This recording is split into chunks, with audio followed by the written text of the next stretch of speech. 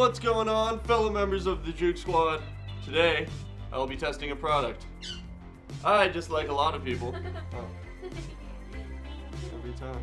I am a frequent Amazon Prime user. Spend hours a week on Amazon just going through random crap. And I stumbled across this. The cheapest drone with an HD camera that I can find. Petrie, stop.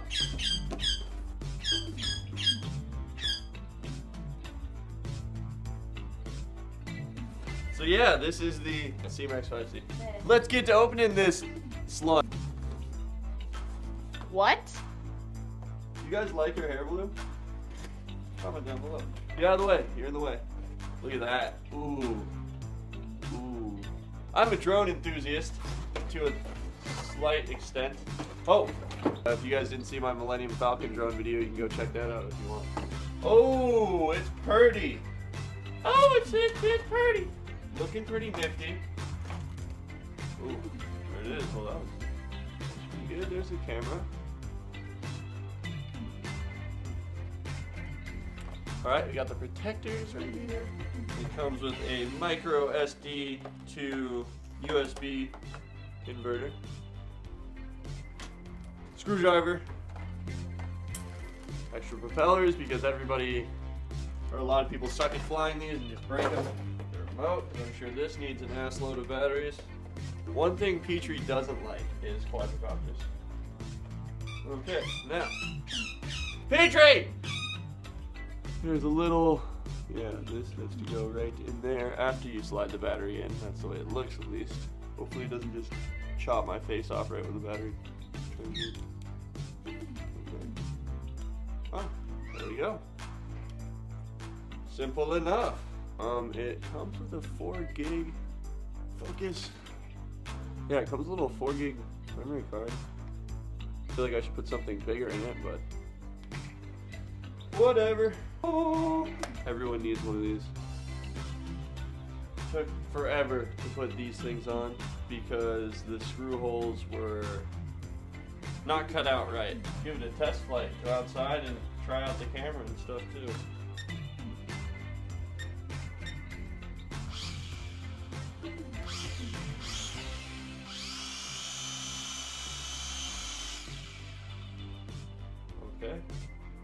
Take it outside.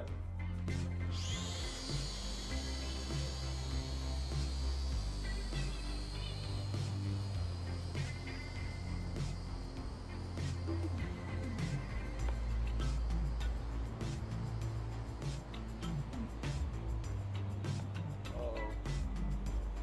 Uh-oh. It's on the beach!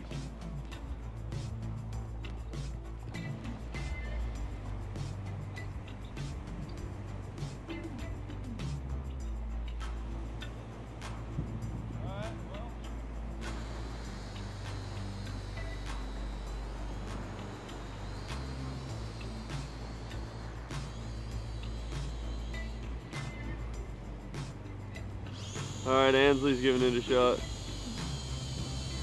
It's windy, go forward. Don't go towards the ocean.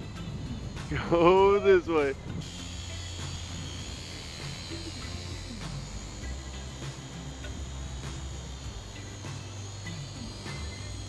Go fly it like into my neighbor's yard. Through the trees or something.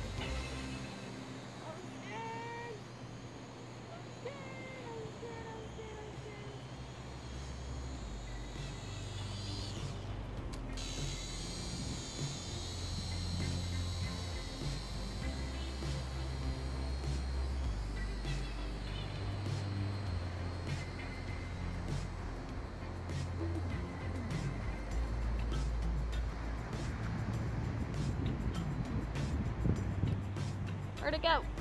Oh. Bring it back.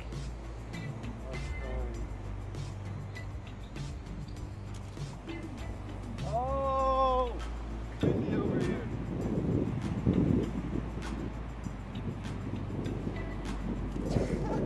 We've done a couple test flights. We're gonna go look at the footage because I think the camera can be controlled somehow by one of these. I'm not sure though. Yeah, let's go. For some reason, it wouldn't record for more than a couple of seconds. I think it's just It was just because I, I didn't know how to control it at first, but um, I mastered, or at least slightly mastered the controls to learn how to record. Um, this will actually have a red light on when it's not recording, and when it's recording, it will be flashing red. Kind of like the GoPro, so that's at least a, a good feature so that you know that you're recording. So I took it out without the camera that you're watching this on right now. I figured I'd just turn this on, and once I knew this was recording, I would just run outside and go and fly it up and get a test flight. And as you can see in the video, I say it's a little too windy to be flying it, and then next thing you know, this happened. Okay, now it's recording.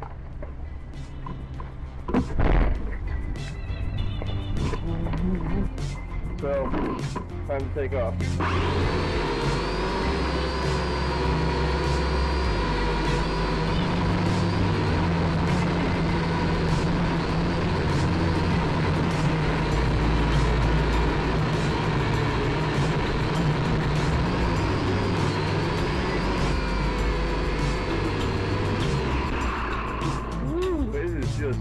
Windy today.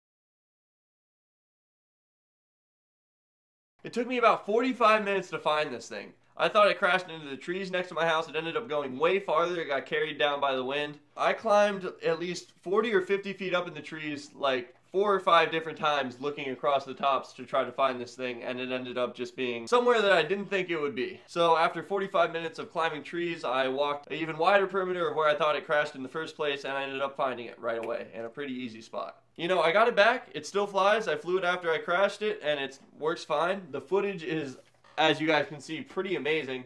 For $50, the quality of this camera and the stability of this drone is incredible. I'm not going to lie. I was flying it in 15, 20 mile an hour winds, and I was still maintaining control to an extent until I crashed it. I would give this thing a 9 out of 10 star rating just for what it is for its money. It's a HD camera and a drone that you can fly up at least 100 feet. And for $50, what? I was about to go and buy like three of these just because they're that cool. I'm not gonna lie, I love it. I'm gonna do a lot more tests with it as soon as it's not windy. Um, here in Florida, there's some really calm days, but there's been a cold front coming through, so it's just been really windy. And I wanted, I wanted to film this, so I just went ahead and did it. Let me give you guys a quick walkthrough on how the controls work for a second.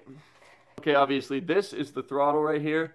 You got the LCD screen, which is 2.5 gigahertz. Um, right here and right here, this controls the stability of the drone. If it's, say, um, moving too far forward or too far back, when you're not controlling this, you can click this down and uh, basically just make it stay in place. This activates the camera right here, and you hold this down for about three seconds to make this start flashing red and record. I definitely recommend this. If anybody out there is looking for a drone to film with and something to uh, start out with, this is an amazing buy. Other than the crash because of the wind, I, I love this thing. I'm not gonna lie, it's amazing. I want to thank you guys so much for watching. I'm thinking I'm gonna be posting top 10 best skim tricks that I've ever landed tomorrow. If you guys have any more ideas for challenges, videos, products for me to try out, anything, go comment that down below. As always, if you guys want some free stickers, you can go follow me on Instagram and get some free stickers. A little heads up, I'm planning on actually going to the East Coast Thursday, two days from now, and bringing the paddle boards and chairs and hopefully chair surfing because it says it's going to be about head high. So we might be able to do our big wave chair surfing like we were hoping. Of course, I'll be filming all of that. I just want to thank you guys again so much for watching. You guys are the best squad on YouTube, and I will see you tomorrow for a new video. Sitting on dubs, count my hours, high on trucks, cooling in my Escalade. Man, I'm paid, I got it made. Take me to your special place. Close your eyes, show me your face.